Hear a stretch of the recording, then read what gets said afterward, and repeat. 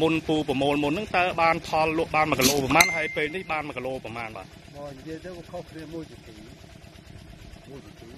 ខុសវាមិនទេវាខុសក្នុងតម្លៃកាលមុននោះដែលមិនទាន់កើតដូចថាជំងឺឬក៏មិនតែលោកបាត់អីចឹងទៅវាមានការតម្លៃនេះធ្លាក់ចុះឧទាហរណ៍ ទៅសក់ចេញមកពីថៃចេញមកពីយួនមកចឹងវាជួបគ្នាវាអាចកើនវាអាចច្រើនចឹងมันអាចថ្លៃបានទេបាទថ្លៃអត់បានទេប៉ុន្តែឥឡូវលោកពូដឹងថាគេបិទមែនឬក៏មិនបាទបាទខ្ញុំដឹងតែតែក៏អញ្ចឹងនេះខ្ញុំខំបកបកកើតទៅហើយតម្លៃឃើញតែអញ្ចឹងមិនឃើញតែបានតម្លៃខ្ពស់បាទតម្លៃចឹងមែនបាទបាទណែបាទឥឡូវលោកពូអាចលក់បាន1គីឡូប៉ុន្មាន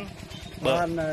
1គីឡូ9ដប9ដប10 9ដបនៅចកា1800 1900 1800ក្នុង1គីឡូក្នុង1គីឡូឥឡូវលើផ្ទៃដីប្រហែលលោកពូពូដាំនេះណែខ្ញុំដាំនោះវាស្មើនឹង1ហិកតាទាំងអស់ហ៎ទាំងអស់នោះវា3ហិកតាទាំងអស់អូនេះប៉ុន្តែអាចនឹងប្រមូលផលបដាបដា អមូលផលបដាបដាយើងមិនអាចដាំទាំងអស់បាននេះយើងដាំបដាដាក់បដាបដាបាទហើយលោកពូបានជ្រាបហើយគាត់ប្រកាសឲ្យបិទការនាំចូលបន្លែអីហើយជំរុញឲ្យកសិករខ្មែរនឹងដាំឲ្យបានច្រើនដើម្បីកុំឲ្យខ្វះខាតតើលោកពូយល់យ៉ាងម៉េចដែរក្នុងនាមកសិករតែក្នុងនាមកសិករខ្ញុំយល់ថាបើសិនជាហ៊ុនសែនក៏ធ្វើយ៉ាងនេះគឺជាការល្អបាទល្អត្រង់ថាយើងហូបចុកទៅក្នុងប្រទេសយើងគឺថាវាអាចយើងដោះស្រាយបានហើយអ្នកដែលដាំអ្នកដោះហ្នឹងណាវាអាចមានតម្លៃ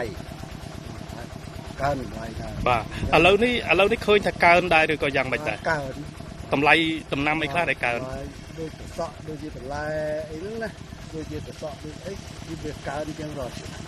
កើនតម្លៃឬក៏កើនការដាំដុះកើនតម្លៃ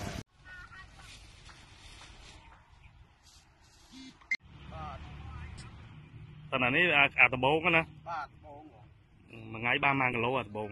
អត់បងទៅមិនដល់200ជាងអូថ្ងៃនេះ តើតើឈប់ទេតើឈប់បេះទេអូបាទ